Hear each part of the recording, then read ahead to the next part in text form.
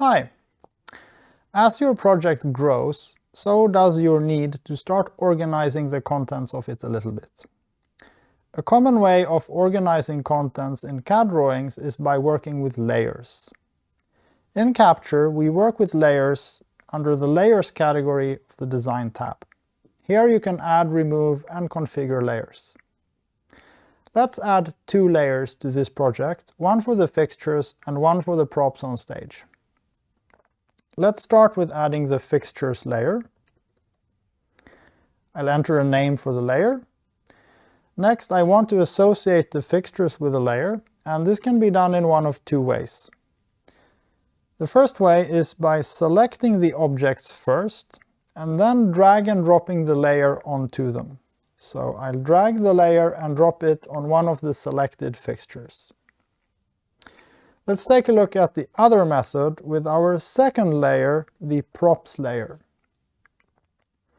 This time I'm still going to select the objects first, but then I proceed to the selected items category, locate the layer property, double click and select the new props layer.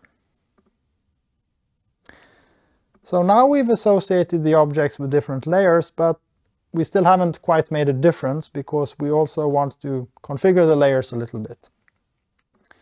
Let's start with taking a look at the color of the layer. The first color property here is the screen color, and this affects the wireframe views.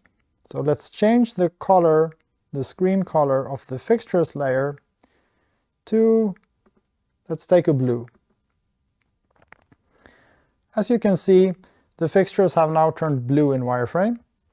So color layer is a great way of coloring the wireframe view, um, thus categorizing different objects into different layers. Apart from the wireframe color, we also have columns available for paper color, um, paper text color, as well as paper solid color. These colors affect the plot mode and your plots. So let's change the view over to plot mode and zoom in on one of the fixtures. Let's start with changing the paper color. Uh, let's choose a red. This colors the outline of the symbols. Next we have the solid color, where I will choose a light red, which colors the fill of the symbols.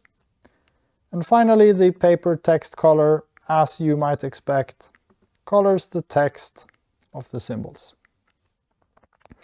There are quite a few more properties available on layers, such as the layer, um, the line thickness, which is called the paper weight, as well as various op options to lock the layers from accidental editing, selection, and even removing layers from reports um, and other options. Now in order to hide an entire layer from a view, you need to work with something that we call filters. A filter is a way of selecting layers as well as DMX universes and use that as a method of filtering the contents of a view, a report or a plot. Let's create a new filter that doesn't include the props so that we can use it as a way of looking at the stage without any of the props. I'll create a new filter and call it No Props. Then I will double click the checkbox next to props here to remove the props from this filter. And finally, we want to use this filter in one of the views, and one of the ways to do that is by dragging and dropping it onto the view. Another way of selecting a filter for a view is in the views category, where every view has its own filter property. So let's do that for the alpha view and apply the no props filter to that as well. At this point, if I edit the filter, this instantly uh, updates the views where the filter is used.